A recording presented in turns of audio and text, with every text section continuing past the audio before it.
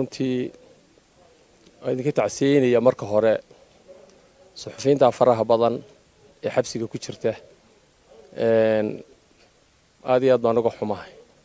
Xildhibaan jaamac caana boodhe oo ka tirsan golaha wakiilada somalilan kuna sugan magaalada ceerigaabo ee xarunta gobolka sanaag ayaa maanta warbaahinta kula hadlay gudaha magaalada ceerigaabo waxaana uu si adag uga hadlay saxafiyiinta ku xidhxidhan magaalada hargeysa waxaana uu xukuumadda ka codsaday xildhibaanku inay xorriyaddooda u soo celiso wariyayaasha ku xidhxidhan magaalada hargeysa.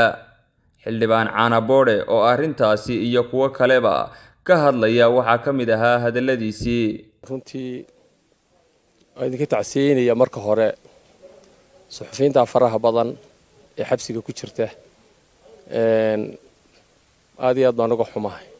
Arrintaas saxaafadda horta dadka haddii dastuur iyo qaynuun iyo sharci baynu leenahay. Haddii qof waliba uu sharcigiisa qaadanayo waddada wuxuu xaqa u leeyahay uu marayo waa la kala baydhi lahay horta coddaysma qabateen. Suxufigu waa inuu ku joogaa wixii dee sharcigu ogolaado aanu ka tallaabsan. Ninka mas'uulka ah ee xukuumadda ahina waa inuu isaguna ku taagnaadaa wixii sharcigu xaq u siiyey. Hadduu wasiir yahay iyo hadduu agaasimo yahay iyo hadduu madaxweyne yahay waxbaa dabraya.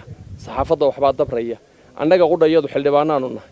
Xasaanad kastoo aanu leenahay maaha macnaheedu de inaan waxaanu doonno samayn karre waxbaana dabraya.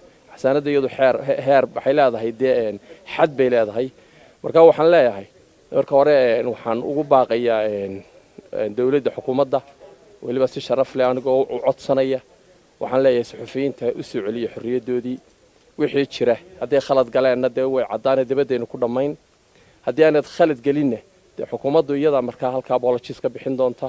Laakiin qayladan faraha badan ee mataqaana sumcdilka inagu ah waynaynu de qarankeenna u tudhnaa dalkeenna u tudhnaa saxaafadda qudheedu wax loo baahayo lagama maarmo. Wata caalamka ina ogeysiisa wata meel walba ina gaadhsiisa marka saxaafadda qudheeda inaynu dowladdu ay la colowdona ma wanaagsana. Saxaafadda qudheeduna inay xadhkaha goosato runtii oo waxyaalo qarannimada kullid ah mataqaanaa oo iyagu aanay wax weyn u arkayn laakiin ama ina ceebaynaya ama jiritaankayna wax ka sheegaya iyaga qudhoodu ilaa xad inay dee taxadaraan oo wadaniyad ku shaqeeyaan baan iyaga qudhoodana ka codsanaya baan abiib iyo dhex martay iyo taliyaha qaranka. Taana waxaan leeyahay taliyaha horta anugu niman aad u jeclahay buu ahaa runtii oo mataqaanaa ahludiin ku suntan.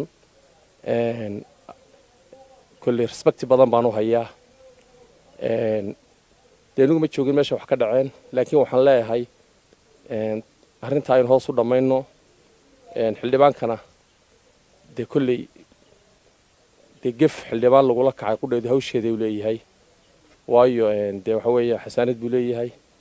Taliyaa qudhiisana in lagu gefo oo meel lagaga dhaco ma aha.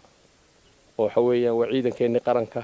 Sidee sideedabana in ciidankeenna qaranka iyo maamulkii iyo xildhibaanadii iyo laysku mashquulo. Waxaa ka fiican dhibaatooyinka maanta jira iyo dadkeena duruufaha haysta iyo baahayaa taagan.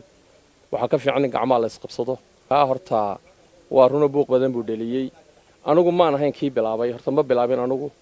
Anigu barteeda facebooku maan in yaroo hadal ku soo qoray. Dadka qaar baa lahaa maayarkaad maagtay.